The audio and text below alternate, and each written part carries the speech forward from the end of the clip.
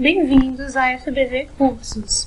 Eu sou a professora Marcela Lima e vou ministrar o curso Práticas de Avaliação, Instrumentos e Técnicas no Processo de Ensino e Aprendizagem. Primeiro tópico, o conceito de avaliação da aprendizagem. Então, para início de conversa, é necessário compreendermos o conceito de avaliação da aprendizagem. Mas quando nós começamos a falar de avaliação da aprendizagem no Brasil? Bem, no, no contexto brasileiro, nós iniciamos a falar em avaliação da aprendizagem no final dos anos 1960 e início dos anos 1970 do século XX. Portanto, nós temos em torno de 40 anos tratando desse tema e dessa prática escolar. Antes, nós só falávamos em exames escolares. A própria LDB de 1961 né, ainda continha um capítulo sobre os exames escolares né, e a Lei 5692 de 71, que veio para redefinir o sistema de ensino no país em 1971, deixou de utilizar a expressão exames escolares e passou a usar a expressão aferição do aproveitamento escolar.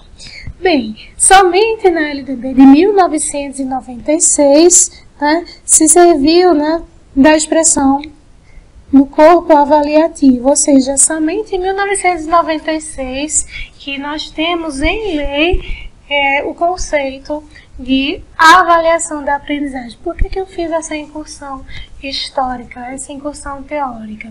Para que vocês pudessem perceber que o conceito de avaliar é diferente de examinar, é diferente de verificar, ok? Em linhas gerais, o que significa avaliar?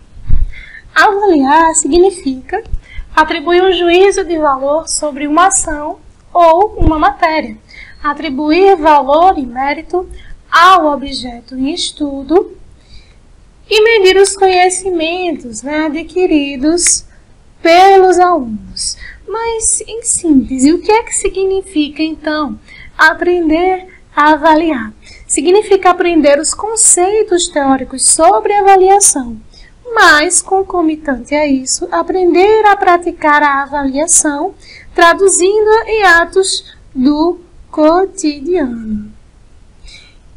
E para aprender a agir né, com a avaliação da aprendizagem, nós, como professores, necessitamos né, colocar à nossa frente esse desejo né, de tomá-lo em nossas mãos, dedicando todos os dias né, atenção a ele, agindo e refletindo sobre a nossa prática pedagógica.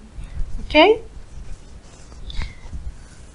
Bem, além de saber conceitualmente o que significa a avaliação da aprendizagem, é interessante saber quais são os principais autores que contribuíram para a área da avaliação da aprendizagem. Bem, em tela vocês podem perceber que há três autores principais que discutem sobre é, a avaliação da aprendizagem. O primeiro deles é o Cipriano Lucchesi, que é o mais mencionado né, na área da educação, seguido de Jussara Hoffmann, e em seguida temos Perrenu. É necessário compreender o que cada um desses autores vai defender sobre a avaliação da aprendizagem. Para Lucchesi, avaliar é o ato de investigar a qualidade da aprendizagem dos educandos a fim de diagnosticar os impasses e também propor soluções que viabilizem os resultados é, satisfatórios desejados. Esse mesmo autor também pontua que avaliar é o ato por meio do qual perguntamos ao nosso educando se ele de fato né, aprendeu o que ensinamos.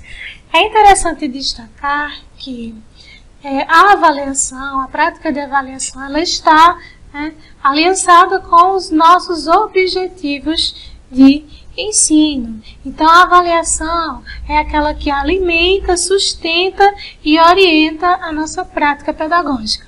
alimenta né, o nosso planejamento, a avaliação ela vai sustentar as nossas ações didáticas e também, consequentemente, vai orientar a nossa intervenção pedagógica, ok? Mas para que se avalia? Bem, nós avaliamos, né, primeiro, para promover as aprendizagens dos educandos, né, também para reorganizar o nosso trabalho pedagógico e também né, para que a gente possa conhecer de fato o que é que o nosso estudante aprendeu.